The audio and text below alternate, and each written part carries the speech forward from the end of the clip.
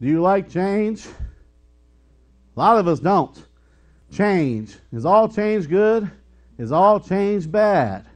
We're going to find out as we examine some things that have changed tremendously. I want us to turn to Romans 12, verse 2. We're going to see some things.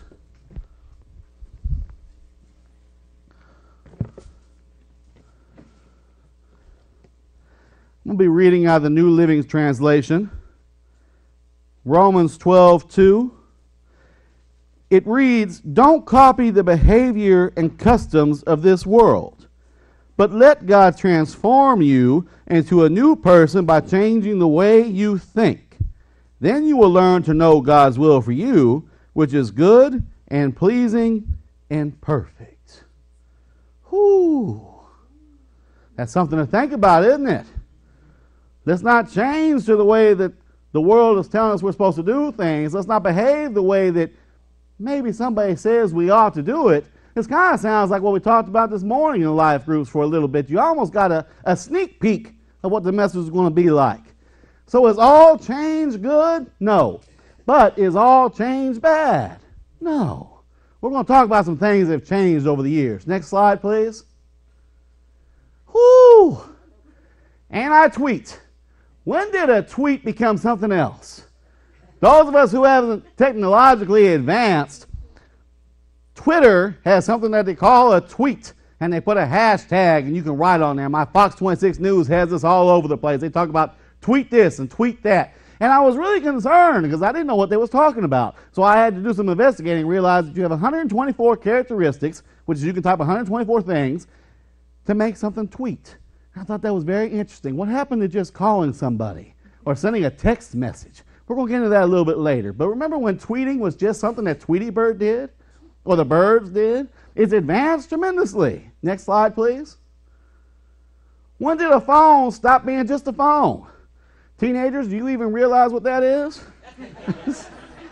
you had to put your finger in there to make it work, and it had to spin, and you had to just one click and go click, click, click, click, click, and then you go back and they do it all over again. Your phones used to be just that. It was just a phone. It didn't take pictures. It didn't send text messages. It's not a walking computer that Brother Charlie has, as my wife said, is the size of his face. It was just a phone, and that's all it was. Next slide, please. When did mail stop coming like this? When was the last time you got a letter in the mail that wasn't considered junk mail? Remember that? Now it's all email. Let me tell you something. This is something we need to do. I had some people actually take time to handwrite me a letter, and it made all the difference in the world.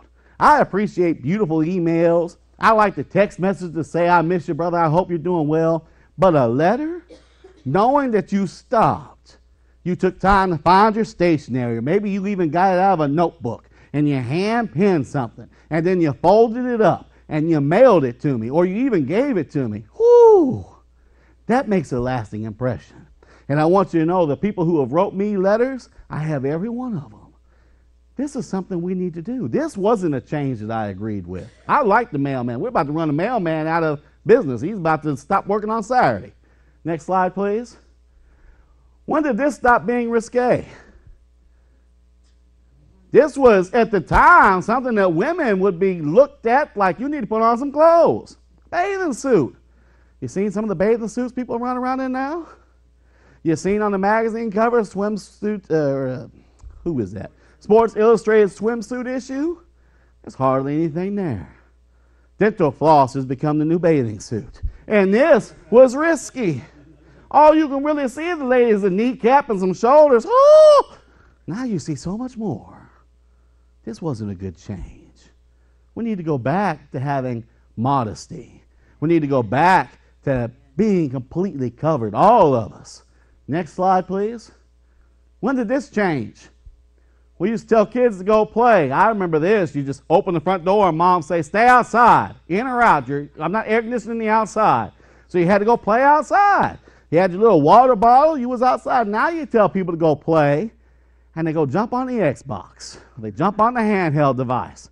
They don't do this. Why did this change? When did we lose this? We need to get back to this. Next slide, please. Why is this not changed? This is just sad to me. It looks to be a teenage boy and then a little bitty toddler mimicking him. This is something that needs to change. This poor little boy and this young adult, if they decide to have a fire in that home, they're going to be waddling like penguins to try and get out because their britches are way down here. We need to change this. This isn't something that needs to be emulated. This isn't something that needs to be copied. This is something that's ridiculous. I could ask my teen men that are here right now to stand up, and not on one of them have pants that look like this. Next slide, please. Why did this change? When did we lose this? Every McDonald's. Every night the family would sit together. We'd go together, we'd sit, we'd talk, we'd eat. I just heard mom and dad both words. Society has changed things. We talked a little bit this morning about how the family dynamic is different. A single parent maybe necessarily can't do this.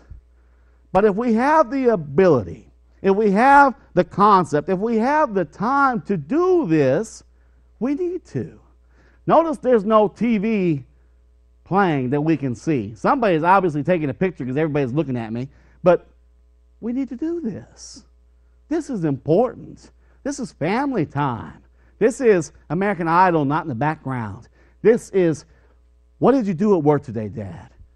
Did you make the bonus? What did you do at school today, Seth? What did you do at, school today, Mom? This is talking. We need to get back to this. Next slide, please. For a lot of us, there will come a time when the relationship will change between parents and children. Eventually, mom and dad get older, and son and daughter become mom and dad. This is a change that some of us are going through now, and this could cause a reaction in you, and I hope it does stir an emotion in you because this is another change. Is this change good or bad? We'll find out in just a moment. Play the video, please.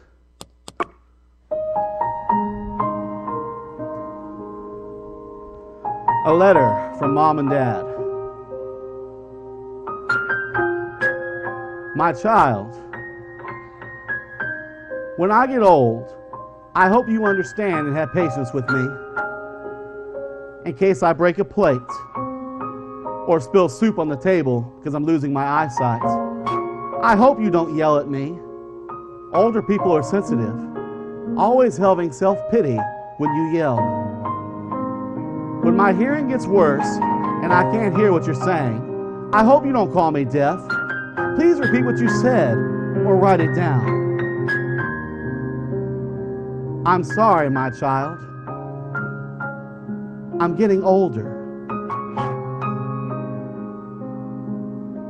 When my knees get weaker, I hope you have the patience to help me get up. Like how I used to help you while you were little, learning how to walk. Please bear with me. When I keep repeating myself like a broken record, I hope you just keep listening to me. Please don't make fun of me or get sick of listening to me. Do you remember when you were little and you wanted a balloon? You repeated yourself over and over until you got what you wanted. Please also pardon my smell. I smell like an old person. Please don't force me to shower. My body is weak. People get sick easily when they're cold. I hope I don't gross you out. Do you remember when you were little? I used to chase you around because you didn't want to shower. I hope you can be patient with me when I'm always cranky. It's all part of getting old. You'll understand when you get older. And if you have spare time, I hope we can talk, even for a few minutes. I'm always all by myself all the time and have no one to talk to. I know you're busy with work. Even if you're not interested in my stories, please have time for me. Do you remember when you were little?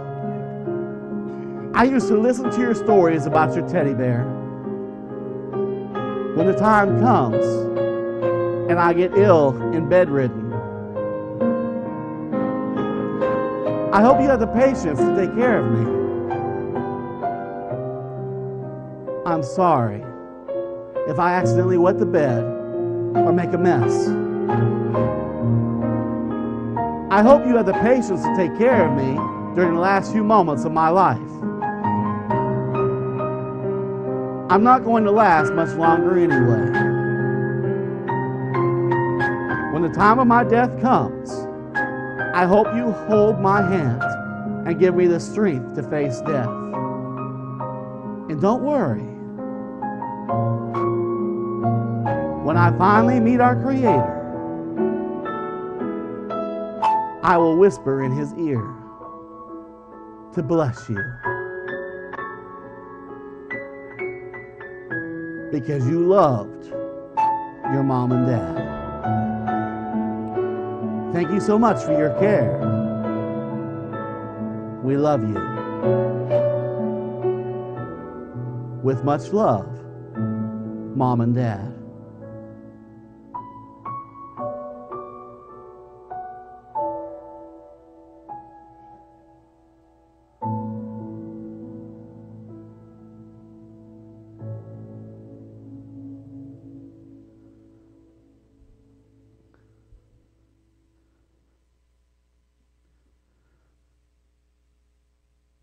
It's change. It's a very cruel part of life, but it is something that is going to happen. I pray to God that we're all able bodied, able to continue to function at 90, able to continue to do things that we are currently able to do now. But the cold, hard reality is that we may not be able to. And someday Seth may have to take his turn to clean me up if I have an accident. But it realized me when we talked about the family and the way the dynamics change. I pray to God every night that I'm the father that Seth will want to change, that I'm the father that Seth will want to hear my stories. I pray every night that I'm the type of father, the parent, that can call my son and say, I've fallen down. I need help. Will you pick me up? Because life changes. All of you know that I'm an open book. You can ask me whatever you want. I always give you the explanation, however, that you need to be ready for the answer. When I was at Domino's, I was not the type of parent that would be able to call my son and have him come running to me. I was hardly a parent at all. I was always working, never home. Family time was wake up, give him a hug, and I would promptly tuck him right back in because I needed my sleep. I was working 70 hours. I was very tired. And I hear stories that people are still doing that. Times have indeed changed. We need to prioritize what's going to be important later. We need to figure out what changes we need to make. Because one day, we're all going to need help. It would be a shame if when we call, no one comes. Next slide, please. Do you remember how changed you felt when you took Jesus as your Lord and Savior? See, we had the funny, cute stuff till a minute ago. Everybody wants to look at Tweety Bird and say, oh, yeah, that was funny. But now we're going to talk about some changes that are going to hit home. I hope you brought your steel toe boots because I may inadvertently step on your feet, but it's not me that's doing it. Do you? Do you remember how changed you felt when you took Jesus as your Lord and Savior?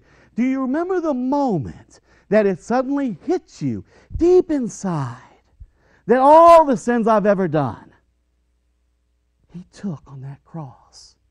That song that Miss Brenda sung the tomb may have been empty, but it was filled with all of our sins. What a beautiful song. Do you remember how on fire you felt when you walked the aisle and you took the pastor's hand, or when you were in your seat and you said, Oh God, I'm a sinner? Has it changed? Are we still just as this fire for the Lord now as we were then? Don't know. Next slide, please. Has this changed for you? I imagine shortly after accepting Jesus as your Lord and Savior, you'd go into the office and you'd go to whoever it was back in the day that led you to salvation, and you would say, Pastor, I want to follow in scriptural baptism. And you were on fire. You had your Bible, you were reading every day, you knew what to expect, you were ready to embrace the world. And then we had a ceremony, and we brought you back there in your clean white robe, and we said a few words, and we dunked you, and you came up a new creature. Are we still as on fire? Do we still have that same desire to change the world? Or have we conformed to the world? Maybe our change is for the better. Maybe you're more on fire than you ever were. Remember, not all change is bad. Maybe your walk with God has gotten so close that you carry Him everywhere, every single day, because you know what? He's with you every single day. Every single day. Next slide, please. Is this a change we need to make? Do we do this? I have challenged the young adults because all of us, with the exception of maybe five, have children. Do we turn off the background noise of this world? No radio, no cell phones, no laptops, no video games, no TV, and sit and read His Word? Or do we do a devotional? Do we have our spiritual time as a family? Or is this something that has become lost? Some of us have grandkids.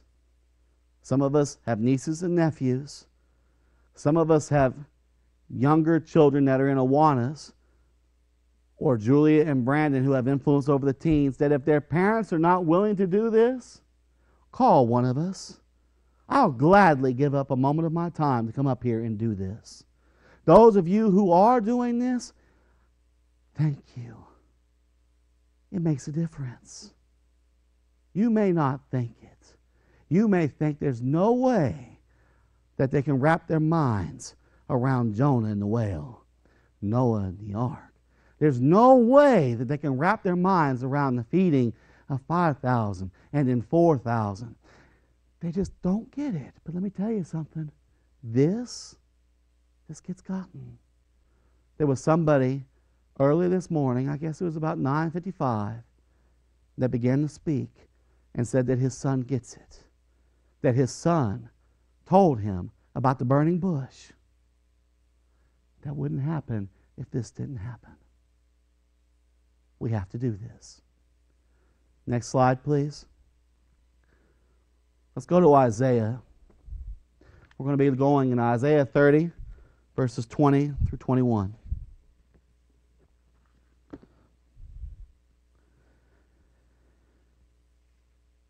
Again, I'll be in the Living Translation.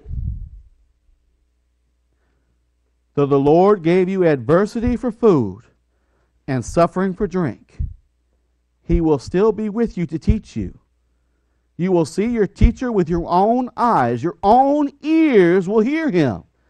Right behind you, a voice will say, This is the way you should go, whether to the right or to the left.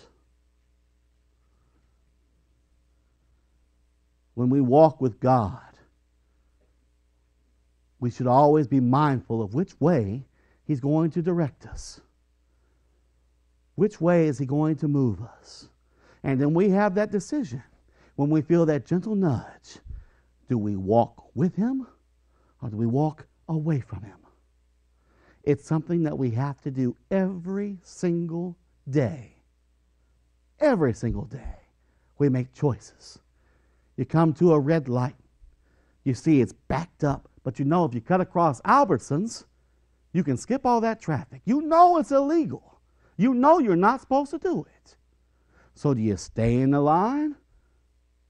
Or do you break the law and go through Albertsons because you was in a hurry? You know that you want to become higher paid.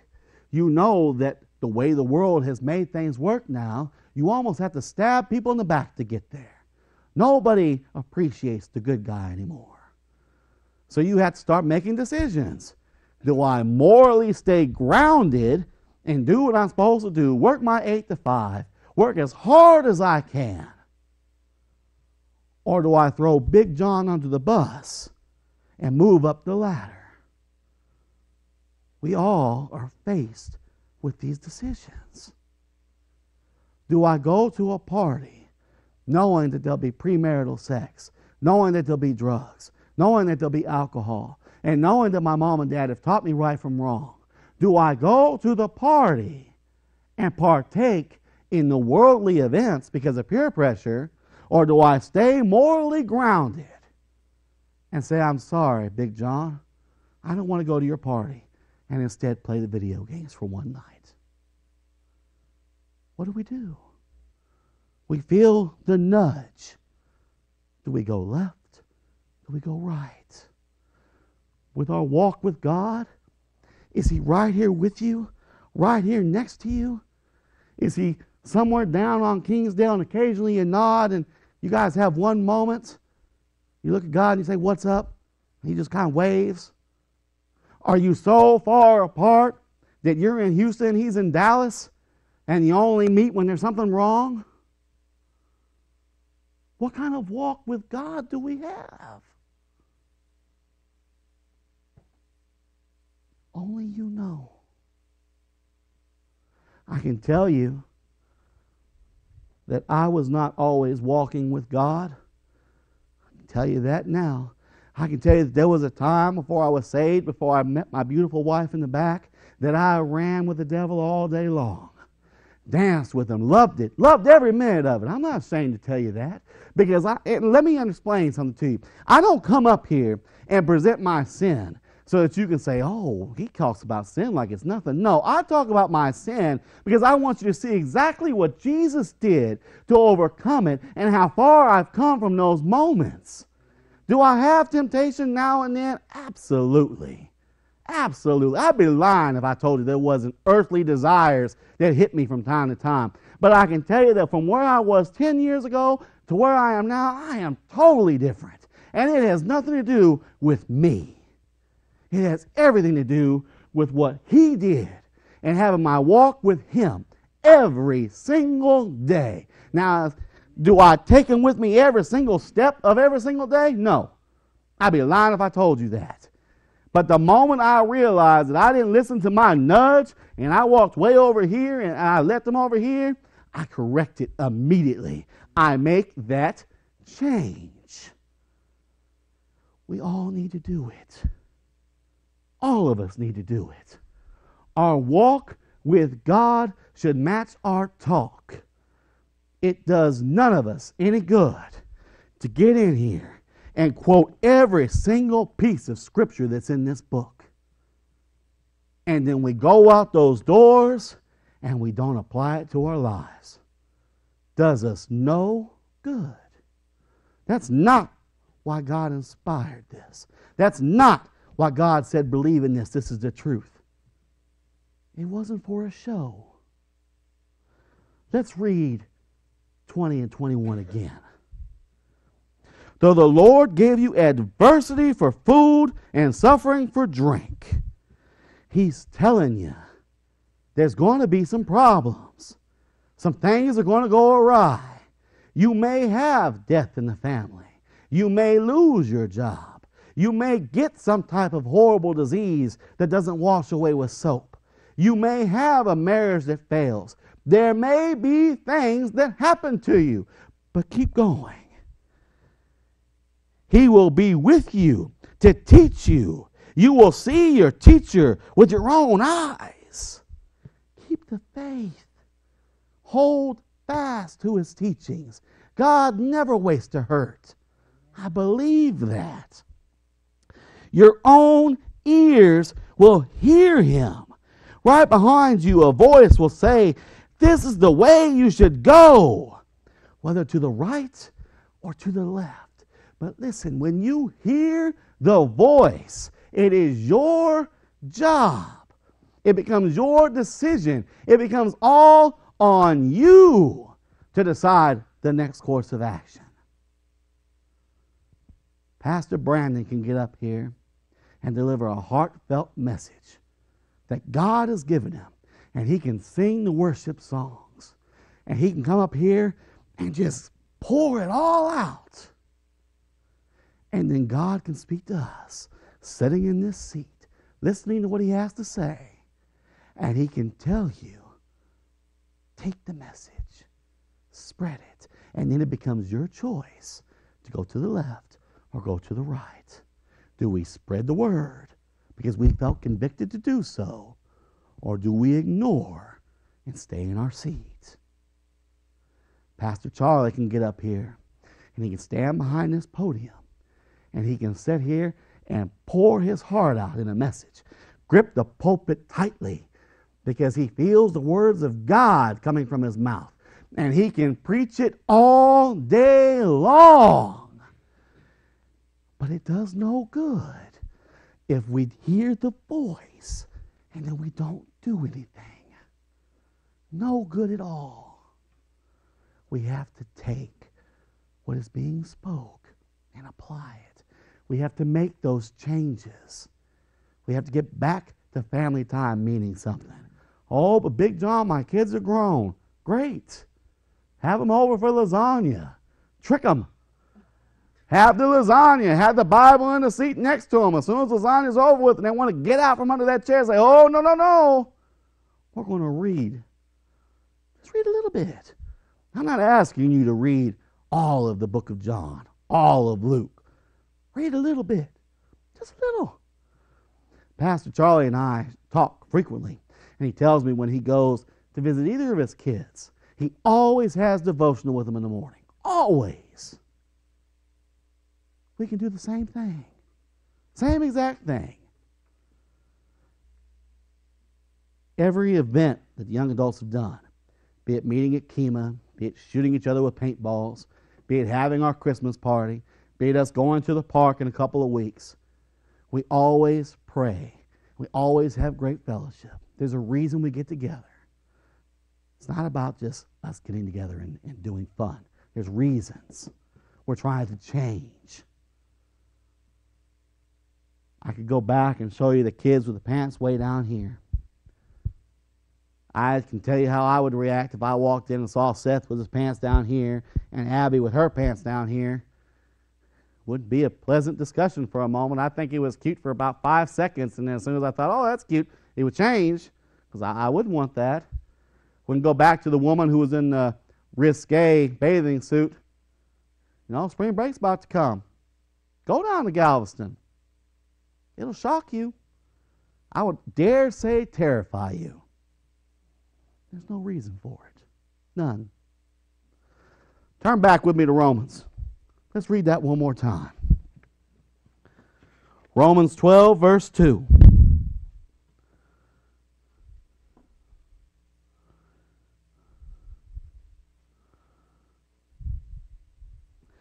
I'm going to read right out of King James Version.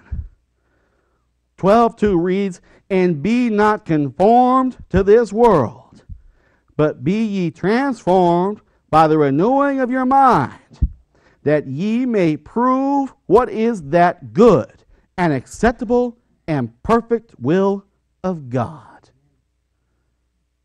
It's no more plain than that. The message was titled Things That Need to Change. We need to look at ourselves. We need to remember when we first walked the aisle, or we realize what happened on that cross, or we still is on fire. Do we still have it burning in us? When we went and got dunked, became a new creature, went through baptism, are we still as enamored with God as we were then? Or have we kind of drifted? Have we kind of taken for granted some of the things that have happened? Have we kind of said, whew, I had it for a year. I'm going to take this year off.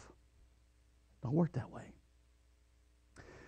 This video is going to play in just a moment. I want you to really listen to the words. Go ahead and start it, please.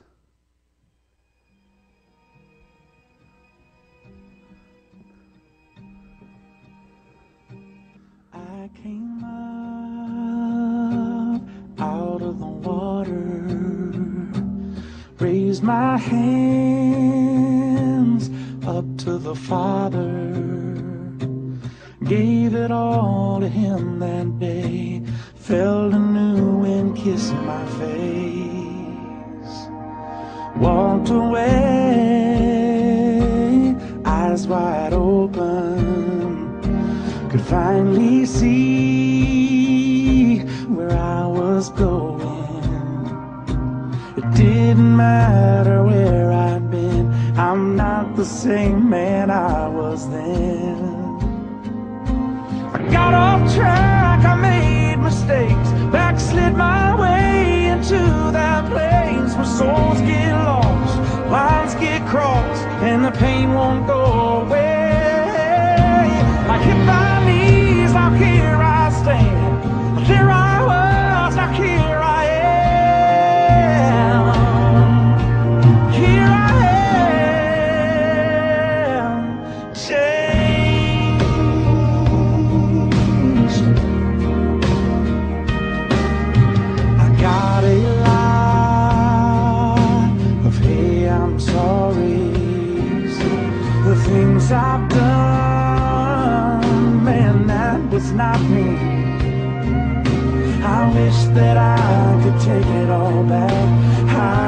I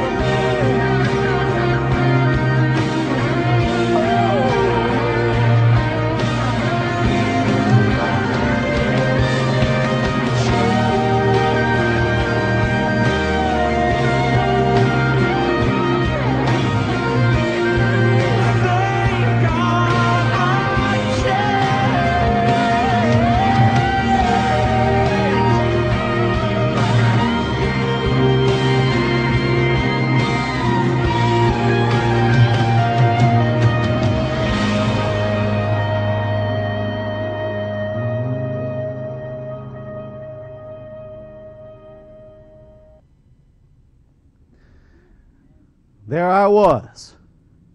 Somebody who would run the streets, beat you up, take your money, not even think twice. There I was. Somebody who would go to a bar and purposely try and pick up any woman I could. There I was. Somebody who would eat and eat and eat until I was so full that I could almost taste it coming back up. There I was. Here I am now, a changed person, a person who realized that God took all of that because He gave His Son's life for me. Here I am now, somebody who falls to his knees, prays with his Son. Here I am now, somebody who has been touched and is told by God, I want you. Here I am now, somebody who leads young adults, gathers them together, shows them scripture on how to change their lives. Here I am now. Somebody who goes in the CR can look at somebody, regardless of what they've done, hug their neck, tell them I love them, and mean it. Whew. Where were you? Where are you now? That's all that matters. Yesterday doesn't count. Today does. Where are you now? Are you changed? Is all change good? No. Is all change bad? No. Find the change that you need to make to become better. Will you do it? Will you stand with me?